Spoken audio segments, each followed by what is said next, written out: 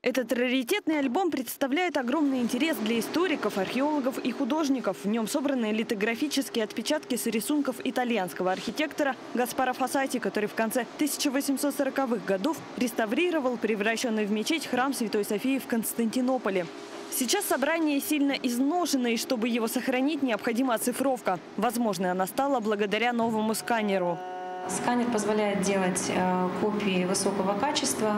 Он отличается бесконтактным э, способом оцифровки, исключающим любое механическое воздействие на объект оцифровки, что гарантирует его сохранность.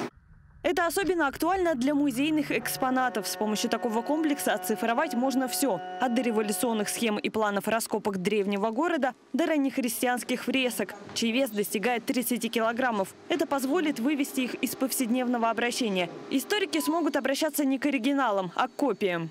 Все документы, особенно а, те, которые были созданы в конце XIX века и первой половине XX, а, к большому сожалению, имеют очень сложную судьбу, драматическую судьбу. Они пережили две эвакуации и длительное время хранились в ненадлежащих условиях. Это привело к тому, что бумажный носитель со временем а, значительно постарел, бумага истончилась, и это ведет к утрате и изображений вот той информации, которую несут в себе э, эти документы.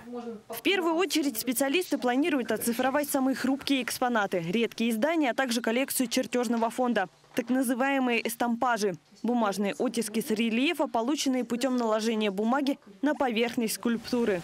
На многих из них памятники, оригиналы которых давно утрачены. После оцифровки все эти документы работники музея хотят законсервировать в архивах.